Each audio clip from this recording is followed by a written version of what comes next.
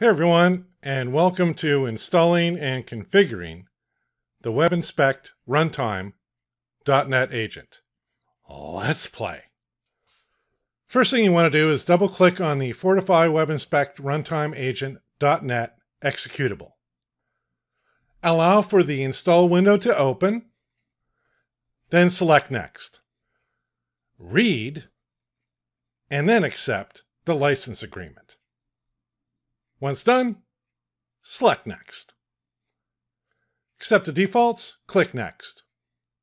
And Next to begin the install. Wait for the install to complete, and once done, select Finish. Good stuff. Now, you're going to use the command line to register the agent. Now you want to change the directory to the following directory.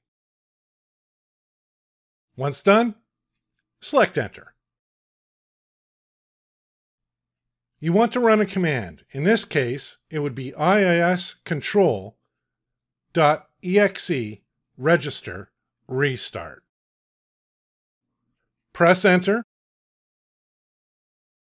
Notice the service has started. WebInspect is now ready to use the .NET agent. Awesome!